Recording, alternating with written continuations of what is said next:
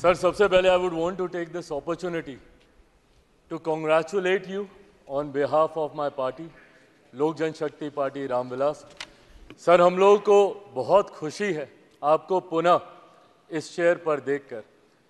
अठारहवीं लोकसभा में जिस तरीके से पुनः आपको ये ज़िम्मेदारी मिली है हम सबका सर सत्रहवीं लोकसभा का एक अपना अनुभव है।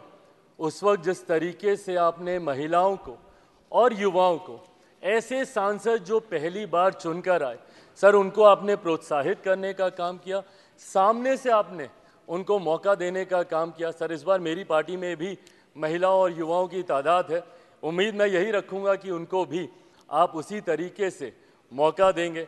मेरे नेता, मेरे पिता आदरणीय रामविलास पासवान जी के विचारों को लेकर हमारी पार्टी आगे बढ़ने का काम कर रही है। आपने पिछले पाँच साल में, सर, इन तमाम विचारों को इस सदन में रखने का मौका दिया और इस बात को सर कहने में मुझे कतई कोई संकोच नहीं है कि आपके द्वारा जो फैसले पिछले पाँच सालों में लिए गए, उसने संविधान की मर्यादा को बढ़ाने का काम किया और लोकतंत्र को और मजबूती देने का काम किया। सर, हम लोग चुनाव बाहर लड़कर आ गए हैं।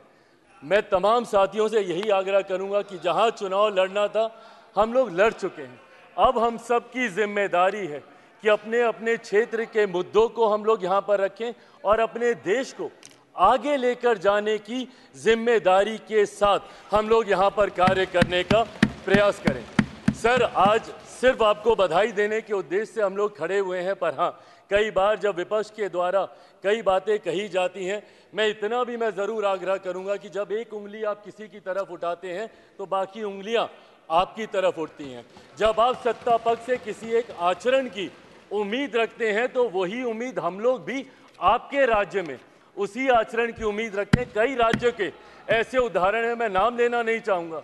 पर जब आप स्पीकर के पद की बात करते हैं, आप डेप्यूटी स्पीकर के पद की बात करते हैं तो कई राज्य ऐसे हैं जहाँ पे स्पीकर का पद और डेप्यूटी स्पीकर का पद भी आप ही के पास है, जहाँ पर सरकार एनडीए का कोई घटक दल नहीं चला रहा, विपक्ष के दल चलाने का काम कर रहे हैं। ऐसे में सर, इस उम्मीद के साथ कि अगले पाँच साल आपका नेतृत्व, आपका मार्गदर्शन उतनी ही खूबसूरती से हम लोग को मिलता रहेगा, जैसे पिछले पाँच सालों में मिला।